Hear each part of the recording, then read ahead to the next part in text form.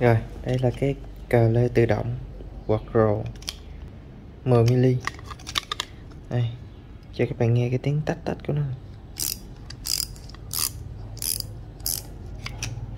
Muốn đảo chiều là quay chiều này Để dạng ra nè Dạng vô. Rồi Bạn có thể đưa vô những cái góc kẹt này để dặn.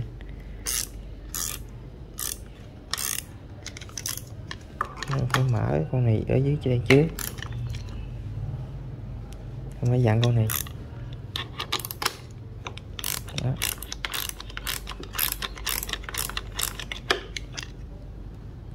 Rất là tiện. Rồi dặn lại.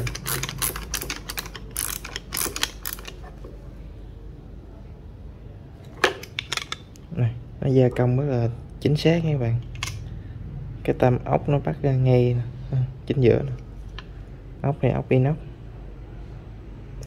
Rồi mình siết lại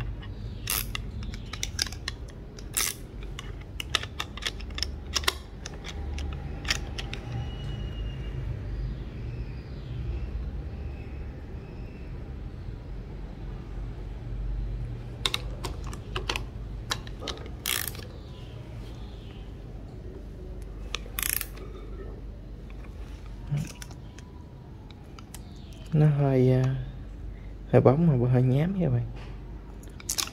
Nó không có nhám nhưng mà, kiểu, nó nó nó đục trắng đục.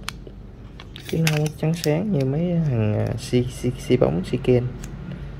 Nhưng mà cái kiểu này nó rất là, cũng rất là bền các bạn.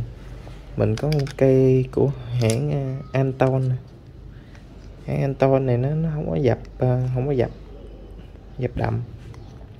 Mình kiếm trên mạng thì không có mình mua ngoài. À, nhưng mà cái tâm ốc này nó lệch nè. Nhưng mà cái à, bạc đạn này nó tốt nha các bạn. Bộ tự động này nó tốt.